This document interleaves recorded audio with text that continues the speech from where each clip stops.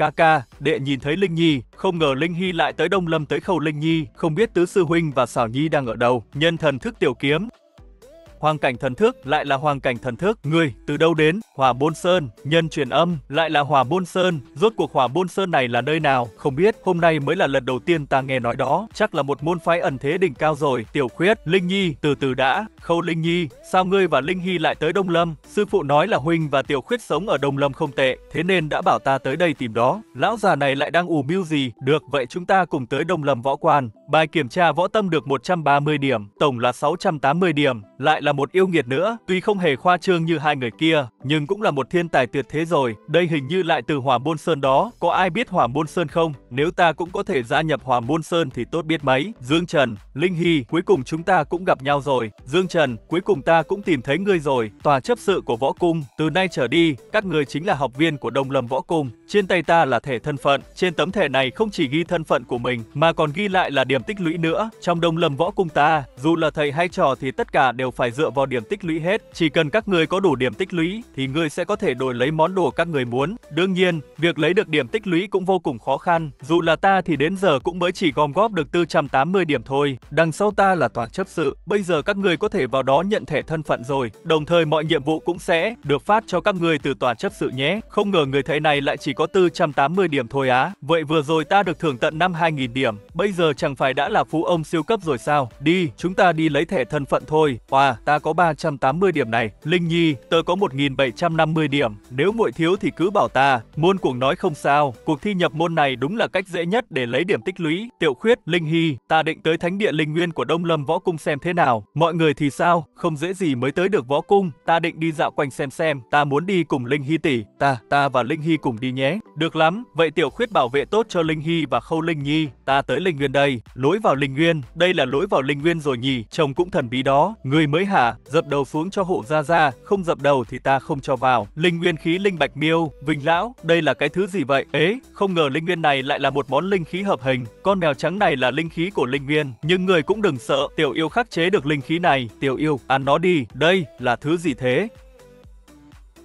Chủ nhân, những lối động này là cửa vào của các đạo trưởng linh nguyên, màu xanh đậm là đã có người chiếm, còn màu trắng thì còn trống. Đi, vào trong xem xem, nghe nói trong linh nguyên có thể có thứ giúp ích cho tu sĩ tu luyện, có lẽ ta có thể mượn cơ hội này lên võ vương cảnh. Đúng là một nơi tuyệt vời. Vinh Lão, ông nói xem, nếu ta ngưng tụ hồn trùng, thì nên lấy cái nào là cốt yếu nhất? Thế còn phải hỏi, đương nhiên là võ hồn thái cổ ma long rồi ta cũng định dùng võ hồn thái cổ ma long. Bây giờ xét về phương diện nào ta cũng đạt tới đỉnh cao rồi, đến lúc ngưng tụ hồn trùng rồi. Chủ nhân, chính là lúc này. Thành công rồi, ba hôm sau, võ hồn thái cổ ma long mới, ra đây đi.